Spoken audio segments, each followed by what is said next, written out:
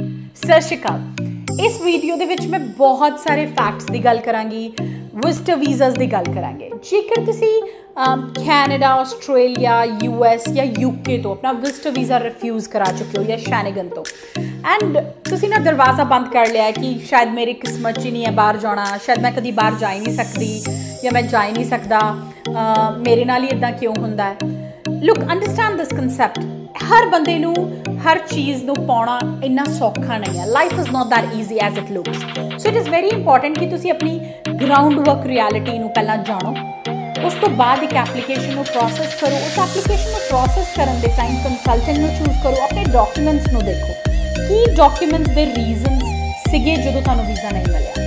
ਕੀ ਮੈਨੂੰ ਕੈਨੇਡਾ ਤੋਂ ਵੀਜ਼ਾ ਨਹੀਂ ਮਿਲਿਆ? So can I apply in Australia and can I get a visa next time no ਕੀ ਬਦਲੇ ਕੁਝ ਨਹੀਂ ਬਦਲੇ। ਕੀ ਤੁਸੀਂ ਦਿਖਾਇਆ ਵੀਜ਼ਾ ਆਫੀਸਰ ਨੂੰ ਕਿ ਮੈਂ ਕੀ ਕਰਦਾ ਸੀ? ਕੀ ਤੁਸੀਂ ਵੀਜ਼ਾ ਆਫੀਸਰ ਨੂੰ ਆਪਣੀ ਇੰਟੈਂਸ਼ਨਸ ਕਲੀਅਰ ਕੀਤੀਆਂ ਜਾਂ ਤੁਹਾਡੀਆਂ ਇੰਟੈਂਸ਼ਨ ਸਿਰਫ ਜਾਣ ਦੀਆਂ ਸੀਗੀਆਂ?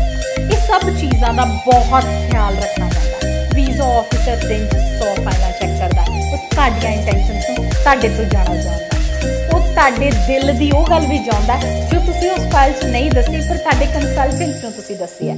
ਕੰਸਲਟੈਂਟ ਦਾ ਫਰਜ਼ ਹੈ ਕਿ ਉਹਨਾਂ ਨੂੰ conceal non conceal of information ਕਰਨਾ ਹੈ ਕਿੰਨੀ ਇਨਫੋਰਮੇਸ਼ਨ ਪੁੱਟ ਕਰਨੀ ਔਨ ਦਾ ਟੇਬਲ ਕਿੰਨੀ ਨਹੀਂ it is not hiding of the information or giving wrong or bogus information it is delivering information ਜਿੰਨੀ ਜ਼ਰੂਰੀ ਹੈ ਵੀਜ਼ਾ ਆਫੀਸਰ ਲਈ ਬਹੁਤ ਸਾਰੇ ਕਾਰਨਾਂ ਕਰਕੇ ਰਿਫਿਊਜ਼ਲਸ ਹੁੰਦੇ ਨੇ I would suggest bogus documents fraud documents ਕਰਕੇ ਰਿਫਿਊਜ਼ਲ ਨਾ ਹੋਇਆ ਹੋਵੇ ਪਲੀਜ਼ ਜੇਕਰ ਇਹਨਾਂ ਰੀਜ਼ਨਸ ਕਰਕੇ ਰਿਫਿਊਜ਼ਲ ਨਹੀਂ ਹੈ please come down. Discuss your files with us. We hold expertise in guiding you. In the right direction ਅਸੀਂ ਹਰ ਤਰ੍ਹਾਂ ਦੀ ਤੁਹਾਡੀ ਮਦਦ ਕਰਾਂਗੇ ਤਾਂ ਕਿ ਤੁਹਾਡੇ ਰਿਫਿਊਜ਼ਲਸ ਨੂੰ ਅਪਰੂਵਲਸ ਵਿੱਚ ਕਨਵਰਟ ਕਰ ਸਕੀਏ ਤੁਹਾਡੇ ਨਿਰਾਸ਼ ਹੋਏ ਚਿਹਰੇ ਨੂੰ ਹੱਸਦਾ ਹੋਇਆ ਚਿਹਰਾ ਬਣਾ ਸਕੀਏ ਕੈਨਵਰਡ has a history behind it please book your appointment we there to help